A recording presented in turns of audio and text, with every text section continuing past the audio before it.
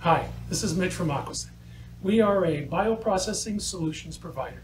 Recently, we were contacted by a very frustrated process engineer who was looking for a two-way diaphragm valve, very similar to this one, but with the end-to-end dimensions or the clamp-by-clamp dimensions different from the ASME BPE spec, and it was needed in a hurry.